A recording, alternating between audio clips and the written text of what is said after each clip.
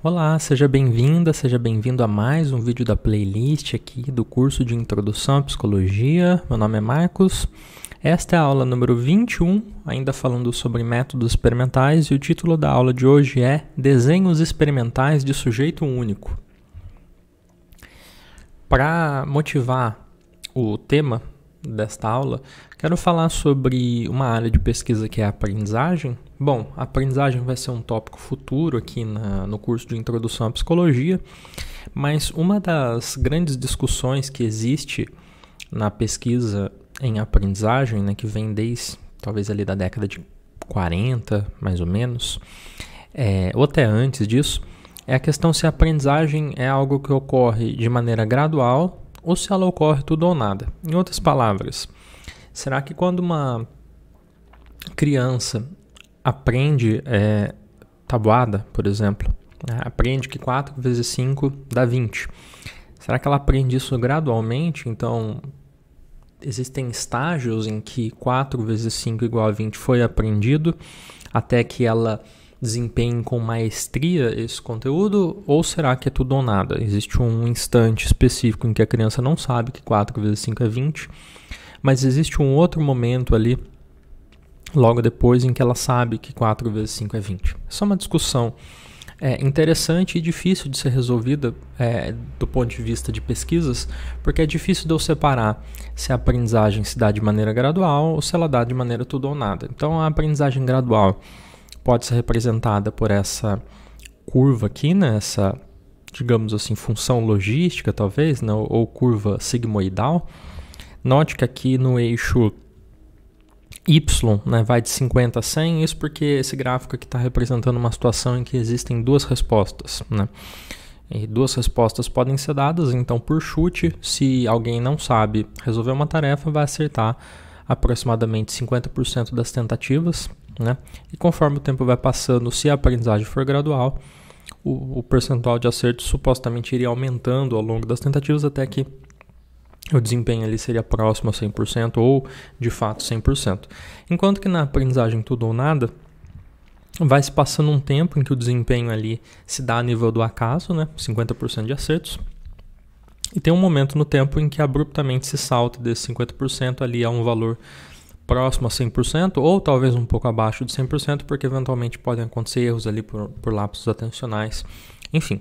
Então, uh, supostamente, né, uh, esses dois gráficos representam duas perspectivas distintas de como a aprendizagem ocorre, em termos de em termos práticos, em termos teóricos também em, em relação a esse fenômeno é, psicológico. No entanto, a, a situação não é tão simples assim. Porque quando eu tenho um conjunto de participantes, então suponho que eu estou estudando alguma tarefa específica ali, que tem duas alternativas, e eu quero estudar algo para ver se as pessoas aprendem de maneira gradual tudo ou nada. O que pode acontecer se eu considerar que no eixo X eu tenho o número de tentativas, né, então a passagem do tempo, algumas pessoas vão aprender antes. Por exemplo, essa linha aqui preenchida é de alguém que desempenhava ali próximo a 50%, e um pouco antes ela passou a desempenhar um pouco melhor, mas ela não chegou no desempenho 100%, ela ficou ali no desempenho, vamos dizer, 97%. Vai ter um outro indivíduo, que pode ser essa linha pontilhada aqui mais acima, que é um indivíduo que levou mais tempo para aprender. Ele desempenhava um pouco abaixo de 50%, ou seja, era alguém um pouquinho mais azarado ali, mais errava do que acertava. Demorou um pouquinho mais de tempo em relação a esse caso aqui para aprender, mas quando aprendeu teve um desempenho ali de 100%. Eu posso ter uma, um outro indivíduo que desempenhava relativamente bem, ali, 55%, próximo ao acaso, demorou mais tempo para aprender e depois passou a desempenhar ali em 95%, por exemplo. Na prática, quando eu pego todas estas curvas e tiro a média, então eu tiro a média aqui de acertos no, nas cinco primeiras tentativas, depois na, na, da sexta, décima e assim por diante, eu vou ter uma curva assim, essa curva aqui que vai se assemelhar a esse padrão da aprendizagem gradual. Qual o problema aqui? Né? E essa é a motivação para a aula de hoje. É que quando eu considero um grupo de indivíduos e eu agrego os dados ao nível da amostra, eu tenho uma curva, que é essa curva aqui que seria semelhante a essa, sigmoidal. E esta curva não expressa o comportamento ou o padrão aí de desempenho de nenhum dos participantes da amostra. Ou seja, isso daqui é um artefato estatístico de tirar a média, basicamente. Tirei a média de vários indivíduos e tive um artefato estatístico. E esse é um primeiro ponto, né, do ponto de vista mais estatístico. E do ponto de vista mais filosófico, epistemológico, podemos pensar o seguinte: a aprendizagem, nós vamos ver no futuro, né, a aprendizagem é um fenômeno individual, ou melhor, até intraindividual, ocorre ao nível do organismo, né, dentro do ratinho, do pombo, do ser humano. A aprendizagem não é um fenômeno grupal. Ah, mas a aprendizagem pode acontecer em grupo, na sala de aula. Sim, pode. Mas a aprendizagem enquanto construto, enquanto conceito psicológico, ocorre dentro da cabeça de cada pessoa. Né? É a pessoa que aprende. Né? É o comportamento dela que expressa ali a aprendizagem, não o grupo. Quando eu agrego os dados ao nível grupal, eu posso ter esse artefato aqui.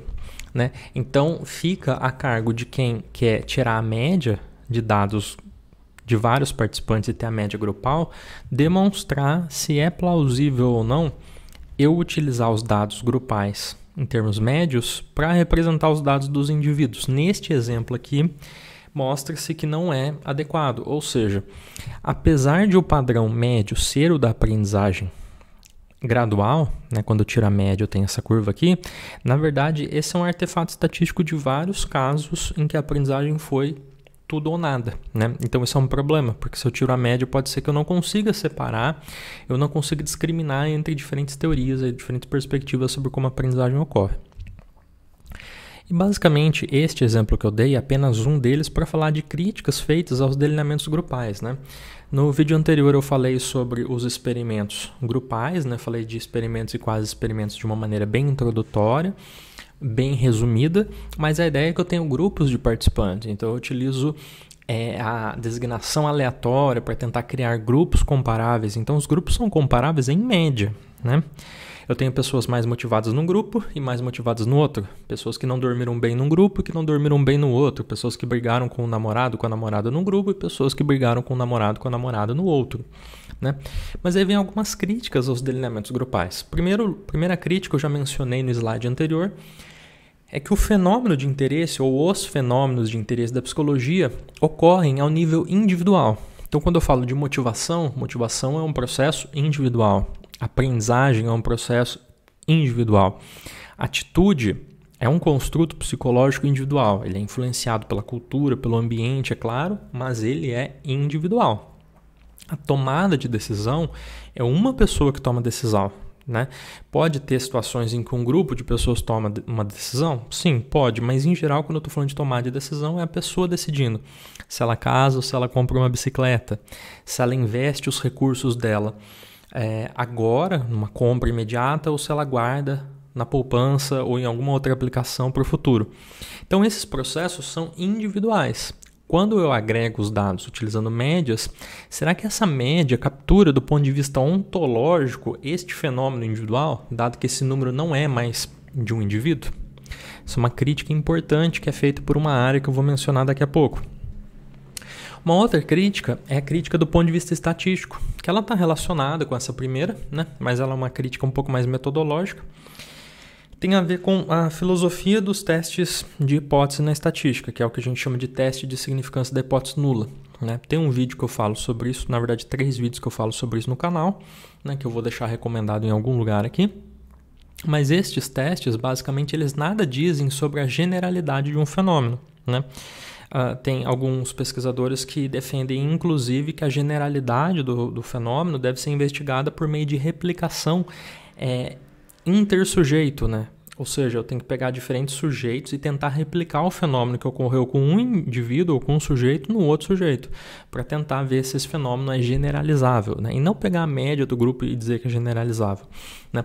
Quando, por exemplo, eu falo que um tratamento, né, terapia cognitivo-comportamental, é, diminuiu os sintomas de depressão comparado com um grupo lista de espera, é, eu não tenho a garantia que todo mundo, na verdade a minha afirmação nem é nesse sentido, nem todos os casos do que fizeram terapia cognitivo comportamental necessariamente melhoraram em relação a todos os casos do grupo lista de espera. Isso é importante, estou falando de uma média, uma tendência. Uma outra crítica é que as pesquisas grupais muitas vezes substituem o controle experimental pelo controle estatístico, e é uma crítica razoável, né? Então, nós temos uma área que, que é a área que baseia essa aula de hoje, que eu já falei do behaviorismo, da análise experimental do comportamento, e essas críticas vêm muito da análise do comportamento, que é, olha, o controle experimental, controlar variáveis estranhas ali, variáveis de confusão, é mais importante do que você sair mensurando tudo e depois fazer o controle estatístico. Por exemplo, numa análise de covariância, que é uma coisa que a gente costuma fazer, ou numa regressão múltipla, né, que são duas técnicas estatísticas que a gente utiliza, né? Então, essa é uma crítica importante também. Né? Nós estamos substituindo o controle experimental pelo, pelo, pelo estatístico né? na pesquisa em delineamentos grupais. E qual seria a alternativa, então? A alternativa desse ponto de vista filosófico é uma alternativa que é considerada mais ideográfica, focando nos indivíduos dado que o fenômeno de interesse da psicologia ocorre ao nível dos indivíduos, para análise do comportamento, o fenômeno de interesse não são os processos psicológicos, é o comportamento, né, a relação, né, de contingência, relação organismo-ambiente, né, interação entre esses elementos, né, entre características do ambiente, né, estímulos discriminativos, estímulos condicionais, as consequências e as respostas, a maneira como o organismo opera o seu ambiente para modificar e ser modificado por ele. Né? E a análise experimental do comportamento propõe os desenhos experimentais de sujeito único. De certa forma, eles se assemelham aos desenhos experimentais grupais, no sentido que eu vou ter também manipulação de variável independente, mensuração de variável dependente, mas eu não vou lançar a mão do controle de um organismo por meio dos outros, como é feito nos delineamentos grupais, eu também não vou fazer uso de técnicas estatísticas que pegam dados agregados de diferentes organismos. Né? Geralmente as técnicas que são utilizadas são utilizadas muito ao nível dos dados produzidos para um determinado organismo. Né? Eu chamei isso daqui de desenhos experimentais de sujeito único, mas também isso é chamado de desenhos com N pequeno, né? Porque não necessariamente eu tenho um único sujeito, mas eu posso ter três, quatro, que é o que é tipicamente utilizado, praticado em pesquisas em análise experimental do comportamento. Dois nomes importantes é o B.F. Skinner, né, o Bruce Frederick Skinner, e o Murray Sidman, né, ambos já falecidos. O Skinner que tem vários livros aí que apontam a sua filosofia de como a pesquisa deveria ser feita.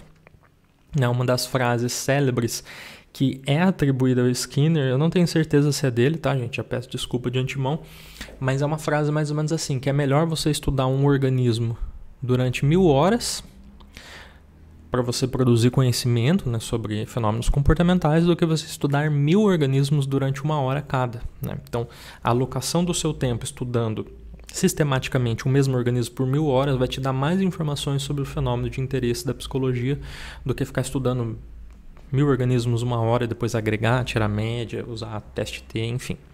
E o Murray Sidman, Sidman, que tem um livro que é o Táticas da Pesquisa Científica, que ele vai falar muito sobre essa questão da generalidade, né, da generalidade intrasujeito, intersujeito, intergrupo, e ele defende muito essa generalidade intersujeito né, e intrasujeito também, em detrimento da, do que ele chama de generalidade intergrupo, que é o que os desenhos experimentais grupais costumam fazer, e ele é um grande defensor da replicação. Bom, então a ideia é tratar cada caso como um estudo completo. Então, se eu estou estudando o Joãozinho, o Joãozinho é um experimento em si, e eu preciso fazer um delineamento de pesquisa que me permita estudar o Joãozinho como um estudo completo, e não como é, uma, um caso de uma unidade de análise que não é o Joãozinho, mas sim a amostra. Então, a unidade de análise é o próprio Joãozinho, tá bom? E aí é o que eu falei aqui, o Sidman é defensor muito da replicação intersujeito e intrasujeito. Né? Intrasujeito é tentar repetir a o mesmo procedimento e ver se um resultado, né, a manipulação de uma variável independente, produz os mesmos efeitos no mesmo caso e o intersujeito se um fenômeno que ocorreu com um organismo ocorre com outros organismos, mas sempre focando na unidade de análise como o organismo e nunca no grupo. Né? Intergrupo é algo que fica um pouco mais de lado na análise experimental do comportamento. Sendo assim, eu quero falar de alguns desenhos experimentais de sujeito único, como eu disse, também chamado de desenhos experimentais com n pequeno. Qual é a premissa básica dos desenhos experimentais do sujeito único? É, eles visam é, extrair princípios gerais do ponto de vista de processos comportamentais a partir de estudos exaustivos de casos individuais.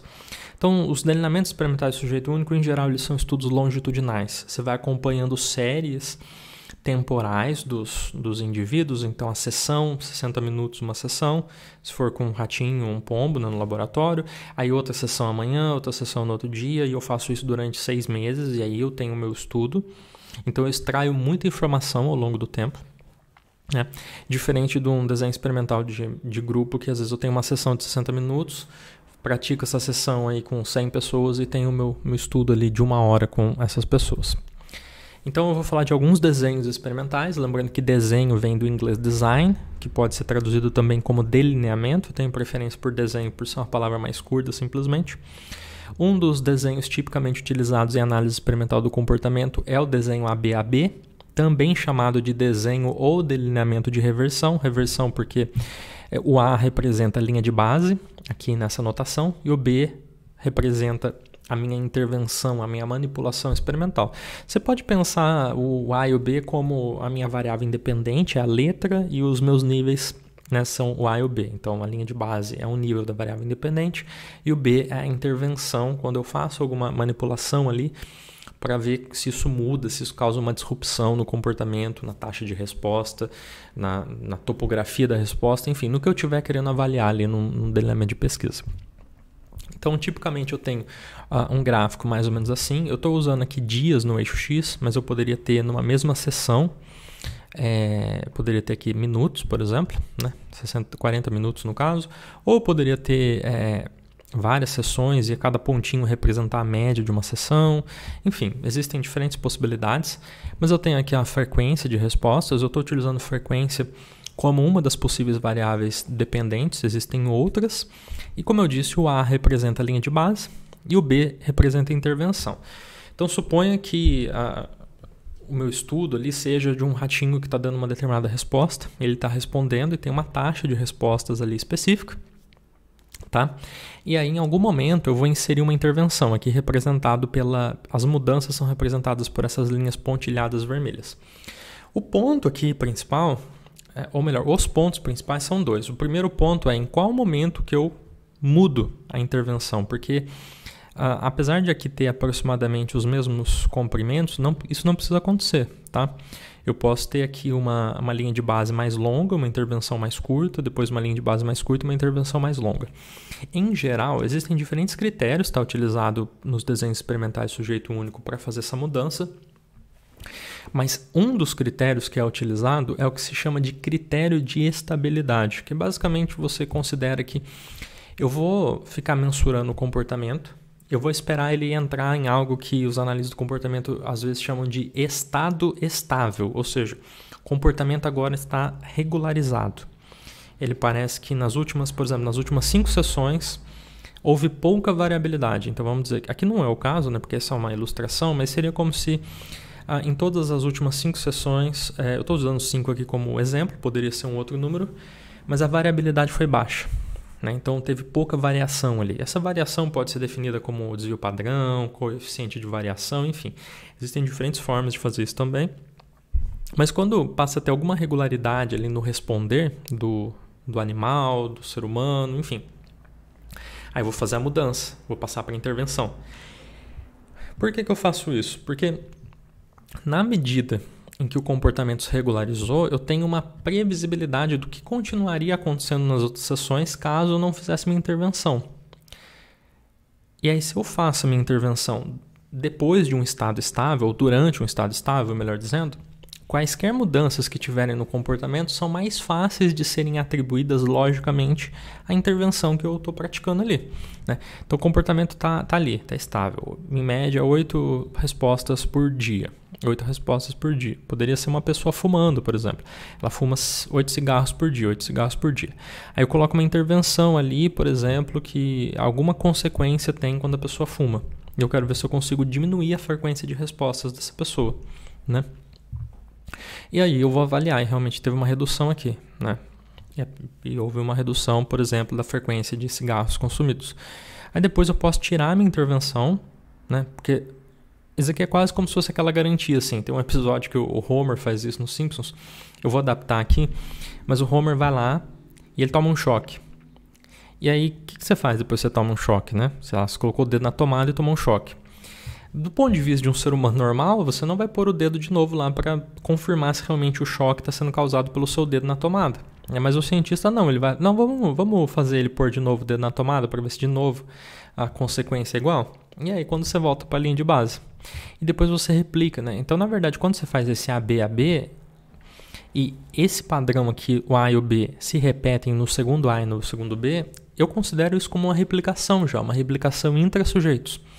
Apesar de eu estar utilizando o termo ABAB aqui, ele poderia ser ABAB, ABAB, ou seja, quatro ciclos AB. Existem variantes, eu posso fazer ABBA, eu posso fazer ABAC, ABAB, ACAD, se eu tiver outras intervenções, enfim.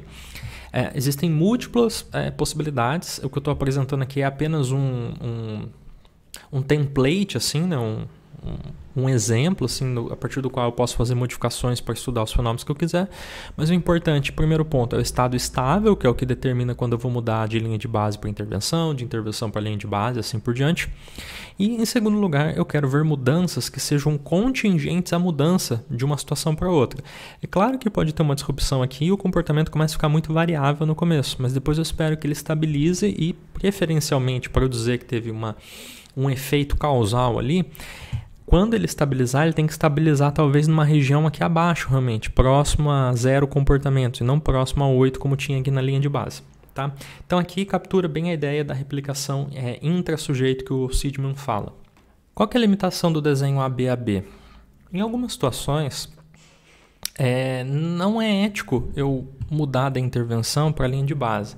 Suponho que o que eu estou estudando é comportamento autolesivo né? Ou o consumo de álcool, ou o consumo de cigarros, não é muito ético eu tirar uma intervenção que está dando certo para avaliar simplesmente pela curiosidade científica, pela produção de conhecimento, é, se aquela intervenção, uma vez retirada, vai produzir é, efeitos danosos nos, nos participantes ali, né?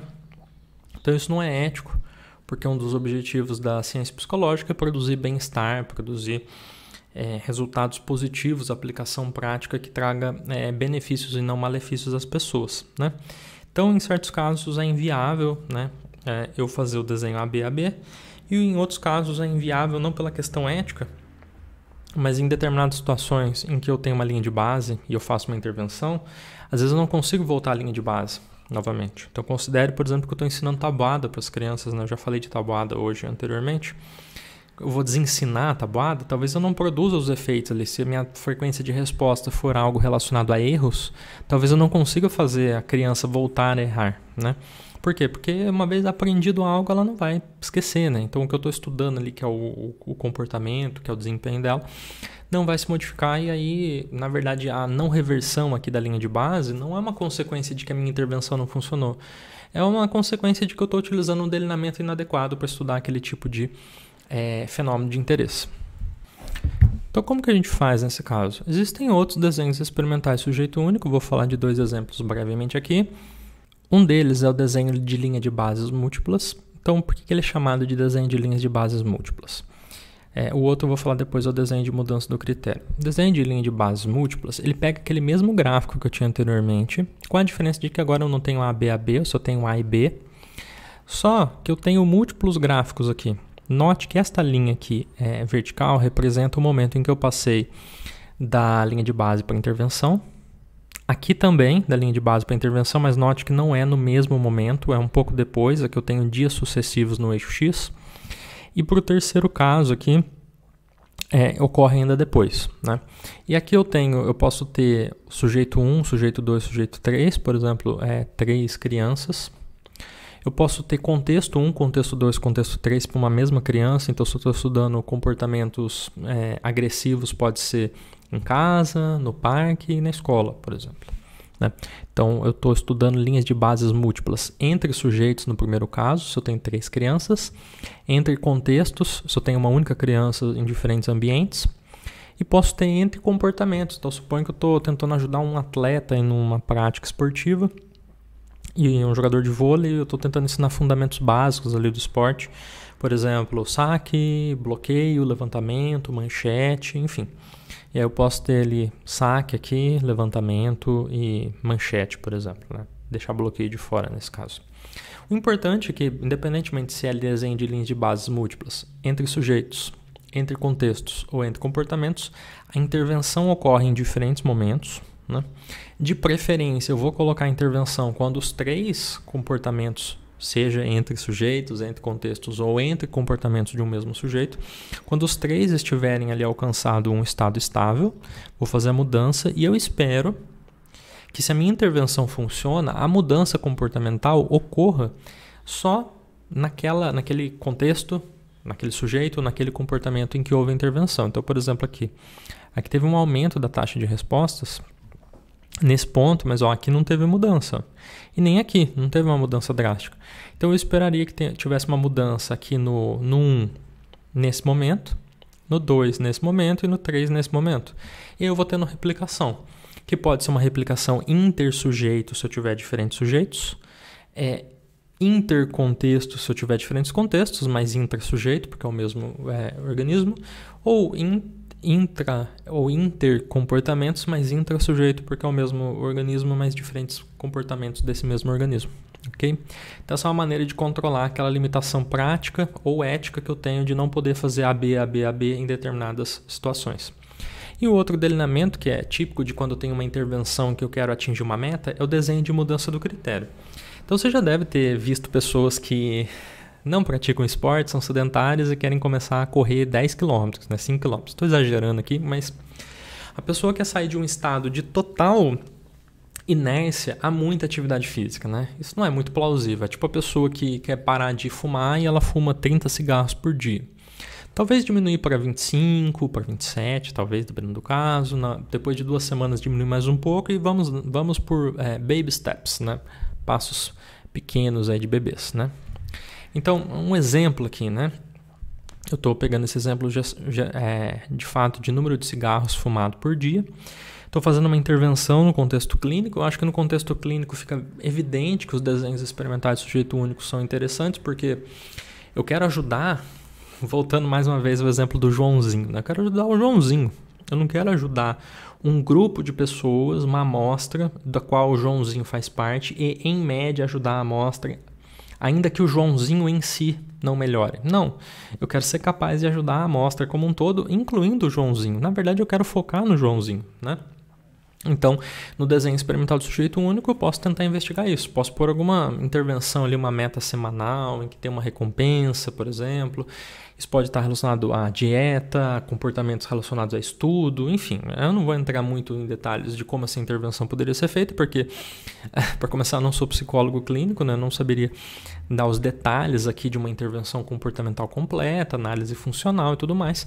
Mas a ideia é só pensar aqui no desenho de mudança do critério de uma maneira mais geral. Então tem uma linha de base que é tipo, eu vou registrando, por exemplo, durante uma semana, quanto que a pessoa fuma durante a semana, né? Qual que é o comportamento esperado que eu posso, posso ter daqui por futuro se eu não fizer nenhuma intervenção, se não tiver tratamento. Ah, eu espero que essa pessoa fume ali, em média, é, vou pôr aqui 17 cigarros, né? 17, 18 cigarros por dia. Né? Pegando essa linha de base aqui de 2, 3, 4, 5, 6, 7 pontos. Beleza, vamos fazer uma intervenção então vamos fazer uma intervenção e vamos por metas, né? Por isso que chama de mudança do critério. O critério, você pode pensar como aquela aquela barra que os atletas têm que fazer salto no salto com vara nas Olimpíadas, né? Não só nas Olimpíadas, mas nesse esporte, que é tipo eu vou aumentar a barra, né? Cada vez vou aumentar a barra. No caso é que eu vou reduzir a barra, mas reduzir a barra, na verdade ainda é aumentar a barra, porque eu estou colocando um critério mais difícil de ser atingido. Por exemplo, ah, você fuma 17 cigarros por semana, vamos, vamos abaixar. Vamos supor que não é 17, vamos supor que é 18. Vamos tentar abaixar dois cigarros durante três dias. Se você conseguir durante três dias ficar nessa meta, a gente abaixa mais. Aí a pessoa vai lá e fuma é, 15 num dia, 16 no outro e 15 no outro. Que é aqui, ó. 15, 16, 15.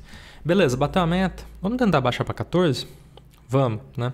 É claro que não é só isso, né? Não é só tipo, vamos baixar a meta e pronto. Não. Tem toda uma intervenção ali por trás que vai tentar contribuir para que essa meta seja atingida. E eu vou gradativamente ali fazendo as minhas mudanças de critério. Cada vez que a meta é batida, né? Aquela piada que é feita com a Dilma, né? Sempre que a meta for batida, eu vou dobrar a meta. E eu vou dobrando a meta até que eu chegue num ponto ali em que eu consiga cessar com o comportamento ali de fumo, né? Os hábitos de fumo encerrem ou fiquem muito baixos. Ali a pessoa fuma um ou dois cigarros por dia. quando ela está muito estressada e, e, e, desse jeito, né? Eu vou tentar fazer essa mudança comportamental gradativa. Que eu dei um exemplo de um comportamento que eu quero reduzir, mas poderia ser um comportamento que eu quero aumentar. Então posso, a pessoa pode instalar um aplicativo que faz contagem do número de passos que ela dá por dia e ela vai fazer atividades físicas e vou tentar avaliar se ela está caminhando mais ao longo dos dias durante a semana. E aí eu vou aumentando essa meta aí, até que ela fala, não, eu quero dar mil passos por dia hoje. Aí depois de uma semana, né, que ela conseguiu bater essa meta em 5 dos 7 dias da semana, vamos aumentar para 1.500 e por aí vai, até que ela consiga ter uma vida menos sedentária, com mais hábitos saudáveis aí, é, tal como ela imagina. Ou seja, ao invés de estabelecer a meta final, eu vou estabelecendo metas, metas intermediárias até que eu chegue na meta final, e essa é a ideia filosófica básica dos desenhos de mudança do critério. Então, para finalizar, aqui eu quero falar sobre desenhos experimentais, fazendo uma comparação aqui dos grupais com os individuais. Né? É, para isso, eu vou falar da lei da igualação generalizada, que eu já mencionei em um vídeo anterior sobre psicologia e matemática. Recomendo, inclusive, bastante que vocês assistam. Foi um dos vídeos que eu tive uh, o maior prazer de pensar e gravar aqui do canal, um dos meus vídeos preferidos. Recomendo bastante. Né? É, e basicamente a lei da igualação generalizada vai tentar estabelecer uma relação entre a razão das taxas de resposta. Né? Então, é basicamente utilizado para avaliar escolha, né? escolha é, em alocação de respostas em diferentes uh, fontes ali, né? de, de, de, reforço, vamos dizer assim. Uh, então vamos pensar o seguinte, né? vamos pensar que tem o fulaninho, fulaninho tem dois contatinhos, né? Fulaninho tem dois contatinhos, né? E uma. Ele pode falar com uma pessoa no WhatsApp, ou pode falar com outra pessoa no WhatsApp, ou pode sair com uma pessoa, pode sair com a outra, tá? É claro que não é assim que isso é estudado, mas vamos, vamos fingir que é. Então, Fulaninho pode investir numa pessoa ou na outra, mas não dá para investir nas duas ao mesmo tempo. Ah, claro que dá, ele pode falar com. Não, se ele está mandando mensagem para uma pessoa no WhatsApp, ele está deixando de responder a outra. E, e vice-versa, tá? Só que uma pessoa é mais responsiva, responde rápido, sei lá, é mais carinhosa, e a outra pessoa demora mais tempo, tempo para responder, também é carinhosa, mas demora mais tempo, enfim. E ele está alocando ali suas respostas em duas fontes ali, tentando investir seus recursos de tempo, de energia, enfim, em duas fontes ali, temporariamente, né? Não está comprometido com nenhuma das duas e está investindo em dois contatinhos. Então ele responde ali no contatinho A e no contatinho B. Né? Se ele responde igualmente nos dois contatos, eu vou colocar a taxa de resposta sobre taxa de resposta, isso vai dar 1 e eu vou tirar o logaritmo disso, ok? E eu, na verdade, a lei da igualação generalizada vai descrever a, as taxas de resposta? Ou melhor, o logaritmo da razão das taxas de resposta como sendo proporcional ao logaritmo das taxas de reforços. Então, basicamente, assim, grosseiramente falando, é se o contatinho A responde mais rápido, dá mais reforço do que o contatinho B, que tem horas que é carinhoso, tem horas que não é, é tem horas que demora a responder, então ele vai responder mais por contatinho A do que por contatinho B, porque tem mais reforço no contatinho A do que no contatinho B. Então, basicamente, é isso que a lei da igualação generalizada vai tentar descrever. É claro que eu estou resumindo muito aqui a ideia, né? E basicamente, para quem é, lembra dos conteúdos do ensino médio, isso daqui é uma regressão, uma regressão, uma equação do primeiro grau, né? Do tipo y, né? Isso daqui eu poderia resumir como y é igual é, a x, né? O azinho aqui, né? Coeficiente, x é a minha constante, mais b. Com a diferença de que, na verdade, o x aqui meu é uma razão é, que eu tirei o log e o meu y é uma razão que eu tirei o log, né? E o b também é um log. Mas basicamente isso é um y igual a x mais b num espaço log dimensional, tá? Uh, mas isso não é tão importante para a gente aqui. O que é importante? Que a lei da igualação generalizada, eu usei o exemplo dos contatinhos, do WhatsApp, enfim. Ele visa, ela visa descrever a alocação de respostas, especificamente quando eu estou falando de análise experimental do comportamento em esquemas concorrentes é, de intervalo variável intervalo variável. A gente vai ver um pouco mais disso quando eu estiver falando sobre aprendizagem. Mas basicamente é, é, isso que eu falei, né? Um contatinho responde mais rápido, outro responde mais devagar. Então, a frequência com que tem reforços na interação com os contatinhos é diferente, né? De organismos em diferentes alternativas. Né? Então, eu vou tentar descrever. Será que o quanto a pessoa responde por contatinho A, por contatinho B, é proporcional ao quanto que contatinho A, contatinho B responde a ele, né? E é carinhoso. Enfim. Então a lei da igualação generalizada pode ser utilizada para estudar comportamento de pombos, de ratos, mas recentemente tem se estudado também seres humanos. É claro que no caso dos seres humanos eu não vou utilizar é, contatinhos né, em WhatsApp, apesar de eu ter utilizado essa alegoria para falar disso, mas em geral vou ter duas chaves de resposta. Se eu apertei o botão A, não posso apertar o B, porque eu estou apertando o A. Se eu apertar o B, eu não posso apertar o A, porque, enfim, não dá para fazer as duas coisas ao mesmo tempo. Vamos supor que isso não é possível, né? Se a cada 10 segundos aqui eu ganho uh, uma bala, né? em média, a cada 10 segundos eu ganho uma bala apertando o botão aqui, e aqui a cada 20 segundos eu ganho uma bala, quer dizer que aqui, se eu, se eu ficar apertando a cada 10 segundos, eu vou ganhar o dobro de balas do que aqui. Será que eu vou apertar o dobro de vezes o A em relação ao B? É isso que estudos assim tentam avaliar. E aí tem uma tarefa que foi desenvolvida recentemente, que é um, é um jogo, basicamente. Aqui as, é um jogo chato, na verdade, mas é um jogo. As luzes aqui vão se acendendo, né? mas isso não diz muita coisa para o participante. E basicamente uh, ele tem aqui é, dois botões que ele tem que apertar. Esse é o botão que ele aperta né, para ganhar pontos. Esse botão pode estar na cor azul ou amarela. E esse botão aqui é o botão que muda. Né? Se, eu, se eu apertar aqui e aqui tiver azul, vai ficar amarelo. E se eu apertar aqui de novo e tiver amarelo, vai ficar azul. Então aqui, basicamente, esse é o botão que muda se aqui vai ser azul ou amarelo. E o azul e o amarelo estão associados a diferentes frequências em que eu ganho pontos. O objetivo é a pessoa ganhar o máximo de ponto possível. É um jogo bem chato, né? É... Nós psicólogos muitas vezes não somos criativos em pensar tarefas. É... Às vezes somos muito criativos, às vezes não. Essa é uma tarefa bem chata, né? Mas, enfim. É... Mas muito interessante para você tentar entender comportamentos assim de alocação de respostas. Então, vamos supor que no azul eu ganho mais pontos do que no amarelo, né? Será que eu vou apertar proporcionalmente o número de vezes o botão azul em relação ao amarelo, que vai ser proporcional também ao, a, ao, frequência com que eu ganho reforço no azul em relação ao amarelo. Então, mais ou menos isso que está sendo investigado aqui. Né? Uh, mostrei brevemente ali a imagem né, do, da tela, como que é. Eu falo mais um pouquinho disso no, no vídeo Psicologia e Matemática. Mas basicamente aí o que, que é feito, né? Uh, bom, uma coisa que eu poderia fazer é para variar né, a, a, taxa de, de reforço que tem num para o outro. Por exemplo, aqui a cada 10 segundos, aqui a cada 20. Né? Isso dá uma razão entre reforços aqui. Agora, se eu coloco aqui 10 e aqui 15, essa razão vai ser diferente. Agora, se eu coloco aqui 10 e aqui 5, vai ser diferente. Então, eu posso variar a taxa de reforços aqui e ver como que isso afeta a maneira que a pessoa aperta os botões.